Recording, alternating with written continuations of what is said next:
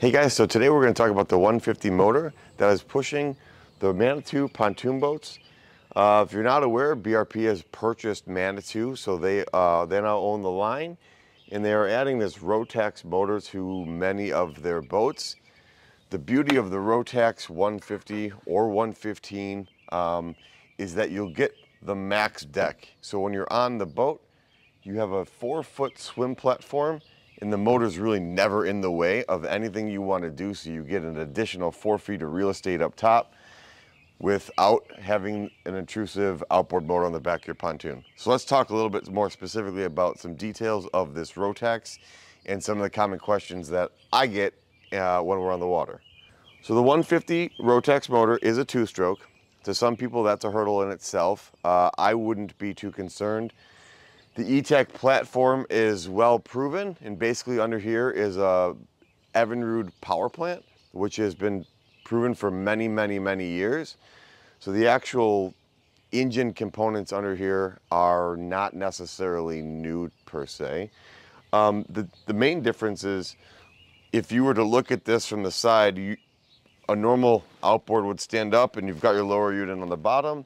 This one, they took the, the power head of the outboard, if you will, and rotated it 90 degrees. Your flywheel is actually right here if you were to take this cover off.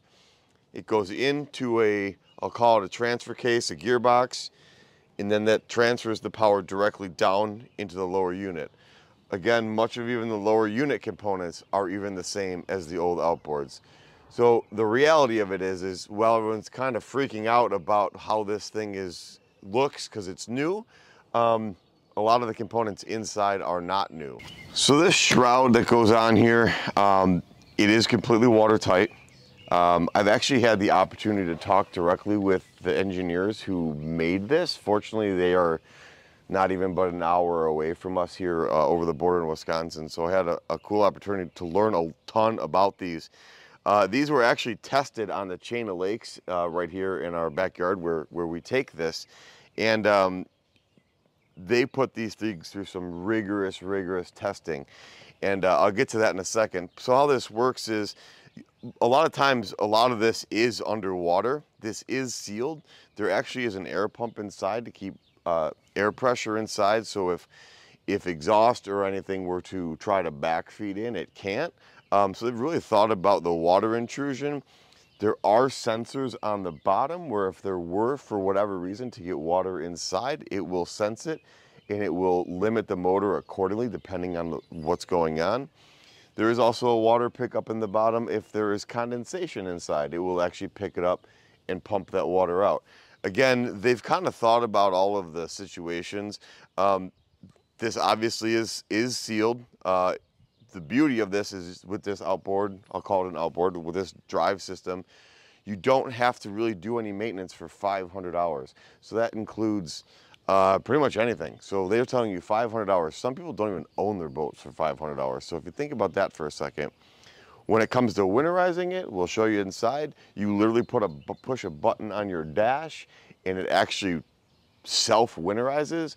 So let's say you're gonna get some cold weather and you're gonna winterize, but you decide, hey, we got an Indian summer, we're gonna go out and we wanna put the boat back in the water.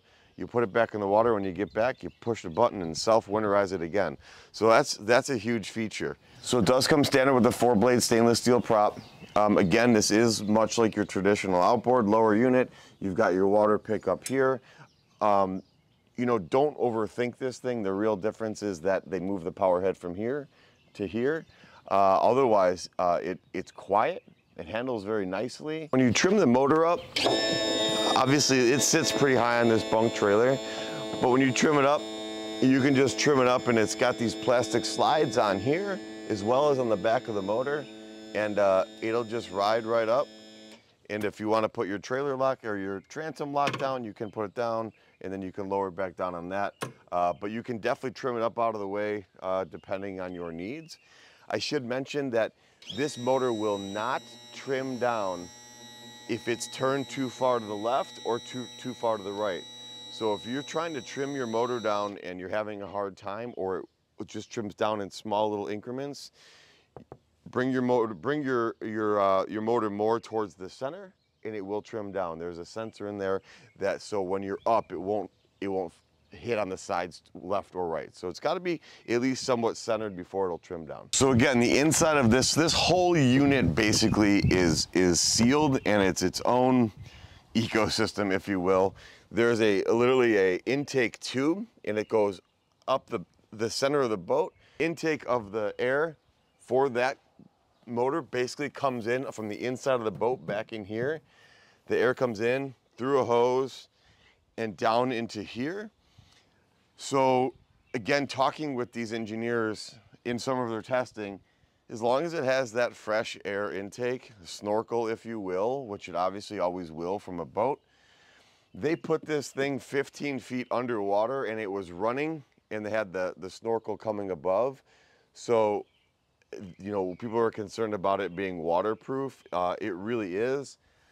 You can take this cover off if you'd like to. Um, there, are, there is a um, there is a certain torque spec to putting the bolts back on, but it's basically a gasketed system, and there's actually through uh, the diagnostic ports and through the air pump we talked in talked about earlier. There's actually a test. You can test it, and it'll pump itself full of of air, and look for leaks uh, on its own. So again, they've thought of all of these uh, of these hurdles and these things that they probably knew they were going to be up against. Um, but again, this is uh, it's super unique, and I think it's just something so new to the market, which you got to give BRP uh, that. They're very innovative on all their products, and they kind of put their neck out and take that one step uh, leap of faith a little bit. So um, I think this is going to be a huge a huge takeoff for them, and uh, so we'll go inside. We'll show you what you get with the Max Deck platform, and um, if you have any questions about the Rotax, uh, please let us know. Like and subscribe. Watch our other videos for all the details on the Manitou pontoon boats. Thanks.